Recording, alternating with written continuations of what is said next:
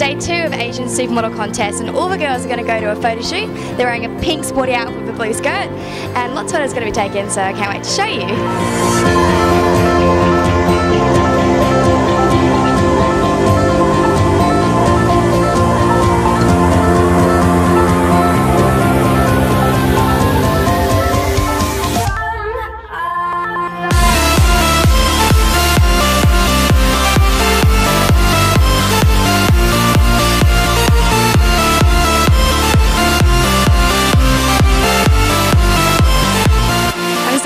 Jasmine from New Zealand. Now, what do you think of your hair and makeup? I really, really love my hair. I had a photo that I wanted them to recreate, and they did it absolutely perfectly. So I'm really, really impressed. Was a photo of a celebrity in any, anyone particular? Yeah, it was of um, Naomi Watts. Nice. Yeah, one of her red carpet does.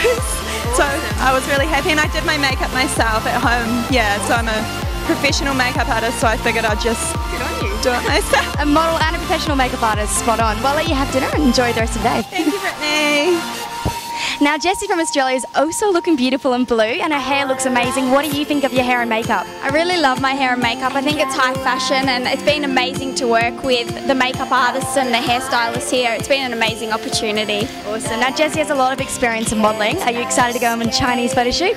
It's going to be amazing. The photographer looks really, really talented and I can't wait to see what the images turn out like. Perfect. Best of luck, and I can't wait to watch it.